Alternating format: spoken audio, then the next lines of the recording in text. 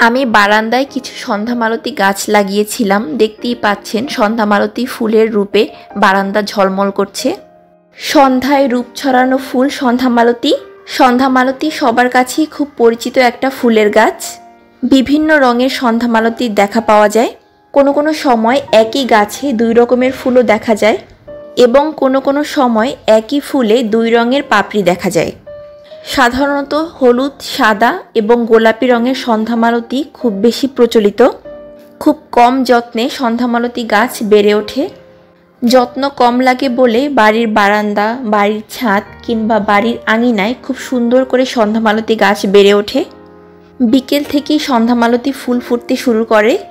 দিন বাড়ার সাথে সাথে ফুলগুলো চুপসে যায়।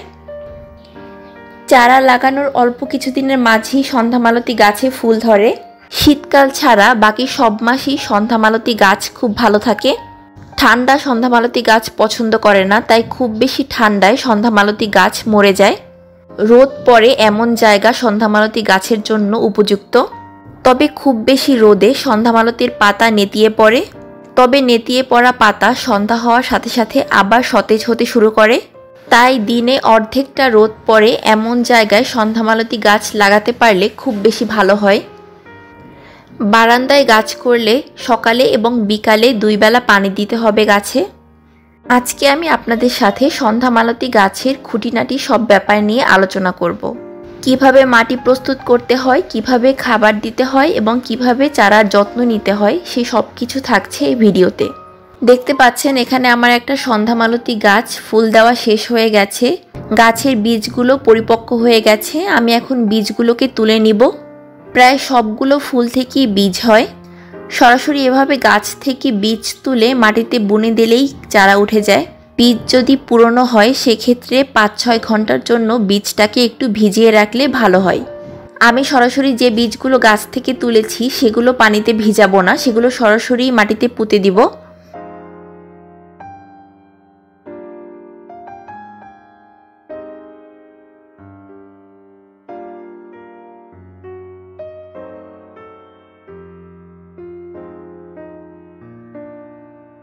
আমার কাছে পুরনো কিছু বীজ ছিল, সেগুলো আমি পাঁচ ছয় ঘণ্টার জন্য পানিতে ভিজিয়ে রেখেছি।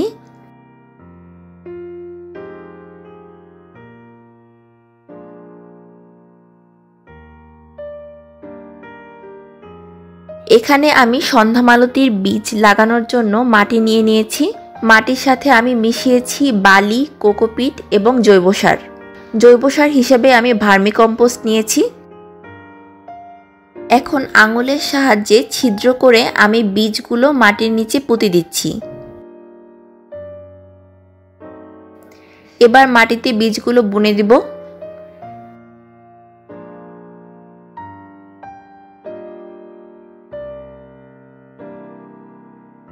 উপরে মাটি দিয়ে ঢেকে দিলাম।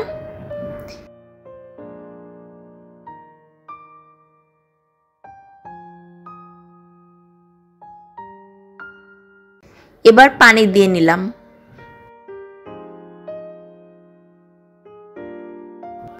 এখন টপটাকে রোদ পরে এমন একটা জায়গায় রাখব। খেয়াল রাখতে হবে মাটিটা যেন ভেজাই থাকে।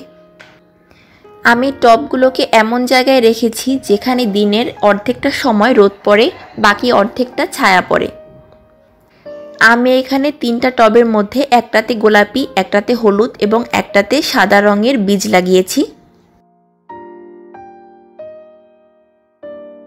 বীজ থেকে চারা ওঠা শুরু হয়েছে।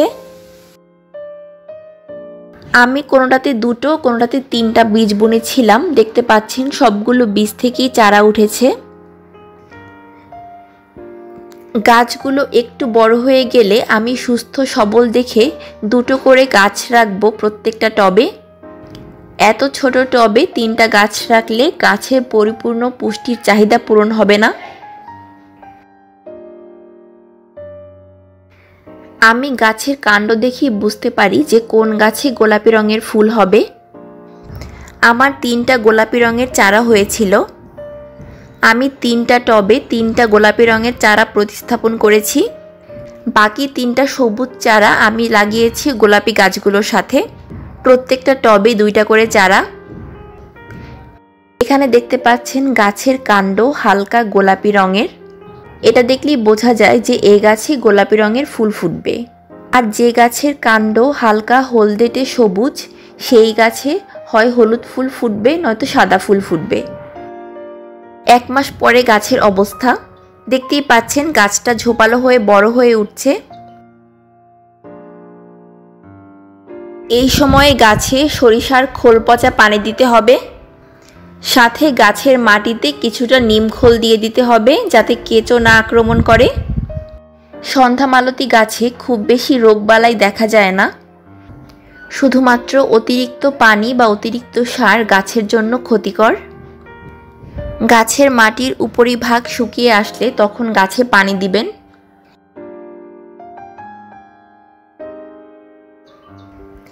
আরও এক মাস পরে গাছের অবস্থা গাছের বয়স যখন দুই মাস, তখন আবার গাছে খোল পচা পানি দিয়ে দিব।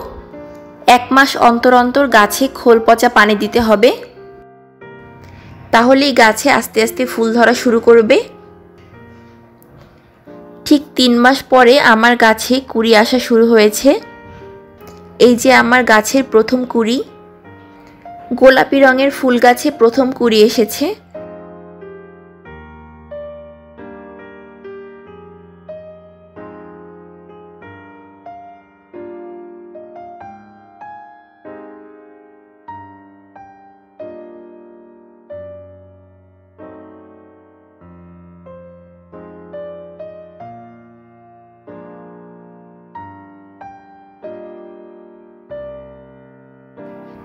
এখানে আমি বোনাস হিসাবে একটা মিষ্টি রঙের সন্ধ্যা সন্ধ্যামানতির গাছ পেয়েছি।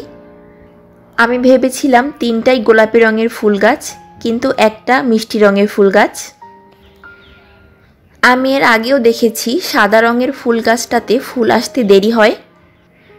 গাছের বয়স চার মাস। বাকি সবগুলো গাছই ফুল চলে এসেছে, এখন পর্যন্ত সাদা গাছে ফুল আসেনি।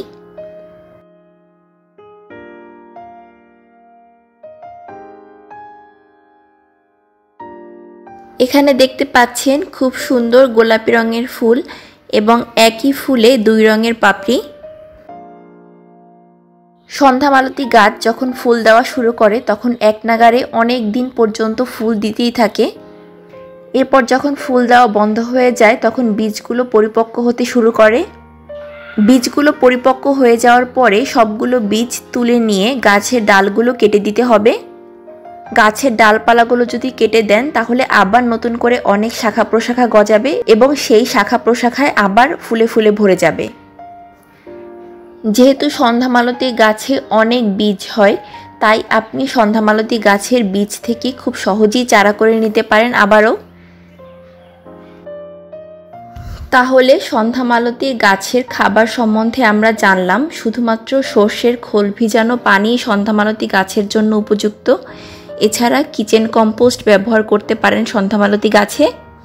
আর মাটির পোকামাকড় দমনে নিমখোল ব্যবহার করতে পারেন মাটিতে। এছাড়া গাছের পাতায় ওরকম কোনো রোগবালাই দেখা যায় না। আর গাছে অতিরিক্ত পানি দেওয়া যাবে না। গাছের উপরিভাগের মাটি শুকিয়ে আসলে তবেই শুধুমাত্র গাছে পানি দিবেন। ছোট টবের মধ্যে যদি করে থাকেন আমার মতো, তাহলে গাছে দিনে দুইবার পানি দিতে হবে। সন্ধ্যামালতী গাছ নিয়ে টুকটাক সব ব্যাপারেই আমি কথা বললাম। এরপর যদি আপনাদের কোনো কিছু জানার থাকে, অবশ্যই আমাকে কমেন্টে জানাবেন। আমি সবার কমেন্টে রিপ্লাই দেওয়ার চেষ্টা করব। সবাই ভালো থাকবেন। আবার হাজির হব গাছের গল্প নিয়ে।